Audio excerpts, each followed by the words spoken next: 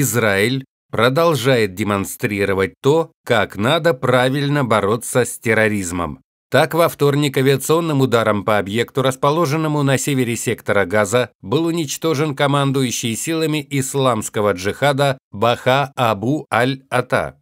Согласно информации вооруженных сил Израиля, он непосредственно ответственен за сотни террористических атак против израильских гражданских лиц и военных, Абу Аль-Ата был ответственным за большую часть деятельности палестинского исламского джихада в секторе Газа и был бомбой с часовым механизмом.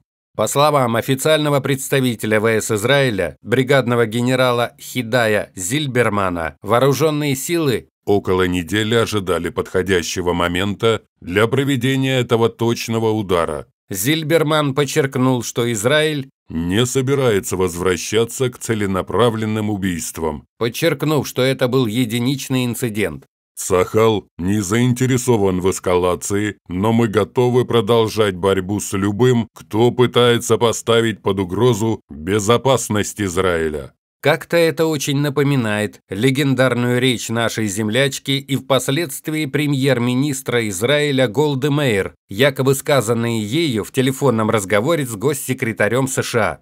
Израиль не имеет ядерного оружия, но в случае необходимости мы его применим. Так и здесь налицо точечный, ювелирный удар, который привели к гибели организатора террористических атак на Израиль. Сразу после того, как в секторе Газа стало известно о ликвидации полевого командира, оттуда на территории Южного и Центрального Израиля было выпущено несколько десятков ракет. Как сообщает армейское командование, часть ракет удалось перехватить силами системы ПВО «Железный купол», а часть попала на пустыри и не причинила ущерба.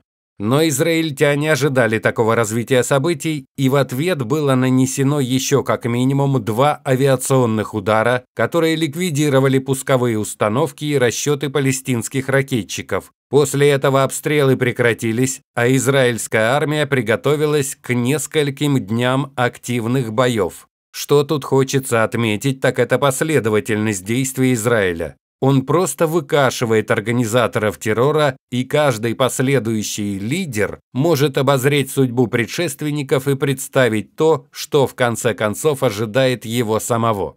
Безусловно, не будь внешних каналов поставки вооружений и вообще логистики, эта война уже давно бы закончилась. Но серьезные деньги, подкидываемые в топку конфликта из Сирии, а также оружие и другое снаряжение, делают конфликт перманентным. Думаю, что однажды Израиль таки придет к выводу, что постоянное вычерпывание воды из лодки не принесет успеха, пока не будут заделаны отверстия, в которые она поступает. А это может означать лишь одно – прекращение засосов с Москвой.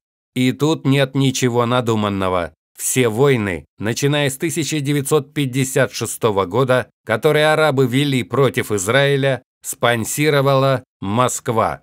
Сейчас она делает ровно то, что делала все эти почти 70 лет.